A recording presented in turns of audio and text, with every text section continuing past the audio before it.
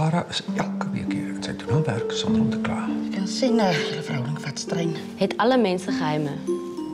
Bedoel jij?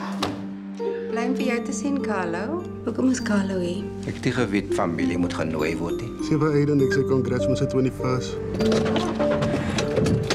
Gaan zij het doen of moet ik? Vergiftig. vol gif. Het vergiftig. vergiftig. Nou, Sanel, Hij is baie jammer. Baie jammer.